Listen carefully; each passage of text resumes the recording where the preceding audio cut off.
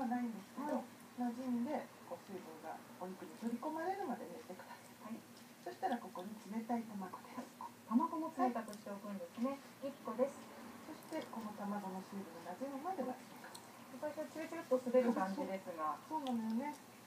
ですからちょっとボールがねこのぐらい大きさった方がいいですあね々にこうふわっとねそして一塊になったらここに生姜汁です小さじ2杯。おー見るからに柔らかい種ですね。そしてここに片栗粉です片栗粉大さじ3杯です。これで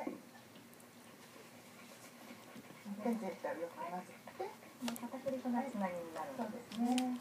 そしてあの、はい手で混ぜましたから、うんまたこのお肉がちょっと馴染むまで冷蔵庫に入れて冷やしておいてください。ラップをしておよそ15分休ませてください。油揚げの下ごしらえをするくらいの時間がいいです。ちょうどいいんですね。ということでこれから油揚げです。今日は大きめのもの2枚、130グラムです。この油揚げを開いていくんですが、あのこのようにね、菜箸で転がして置くと後で開きやすくなるんですね、空気がああ、なるほど。抜けてあのうん間が剥がれやすくなるので、ちょっとやってみてください。はい。そしてこの後、えー油抜きをします。ではあのさっと茹でるようにして油抜きをします。はいこうポイントありますか？このね、えっと、お湯をかけるだけっていうよりも、ちょっとこんな風に中まで熱く、ほら、ね、あ空気がちゃんと、中まで入ってね、入ってますね。あ、それがいいですね。そうするとこ、この部分が開けるでしょ？あはい。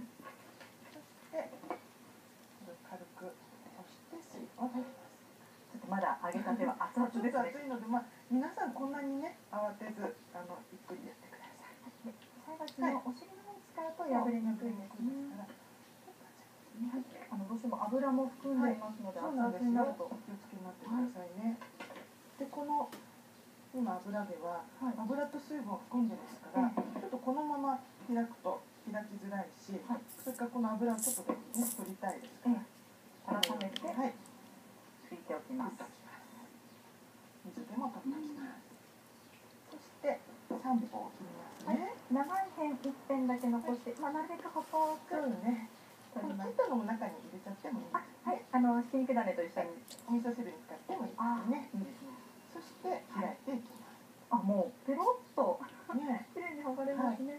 これねあの今の油抜きが冷めちゃうとはいちょっとこう開きにくくなるので、ああのぬくもりがあるっていうか、ちょっと熱いうちの方がやりやすい。はい。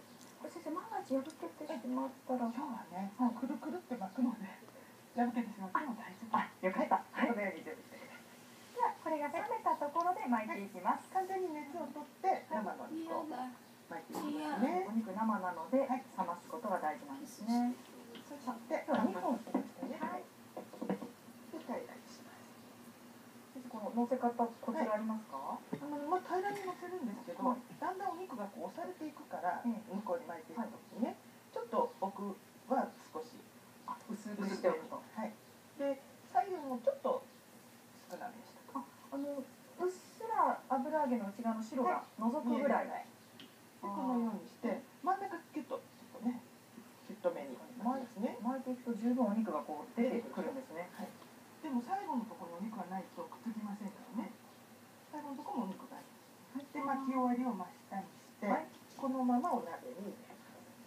ちょうど直径ぴったりぐらいのお鍋がいるんですか？お鍋もちょっとこのようにしていただいた方が調味料の無駄もないですよね。はい。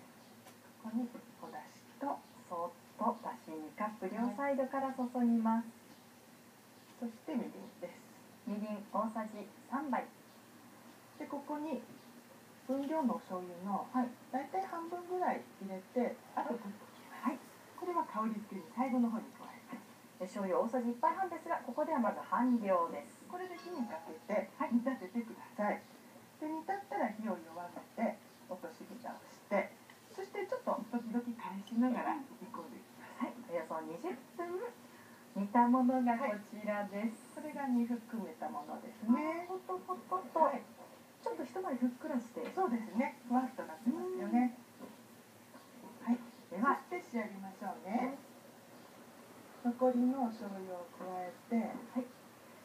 全それになじませます。これが香りのお醤油ではい、途中返しましたがやはり最後こうね、ちょっとだね、しをかけて大切に手をかけます。はい、これで煮上がりです。で、この落とし蓋でです、もう今度着せ蓋でもいいですけど、蓋をして、火から下ろして、ちょっと粗熱を取ります。このままで熱くて切れませんね。はいはい。また冷めていく間に味も馴染んでいきますねね、しっかりお味があの含まれていきます。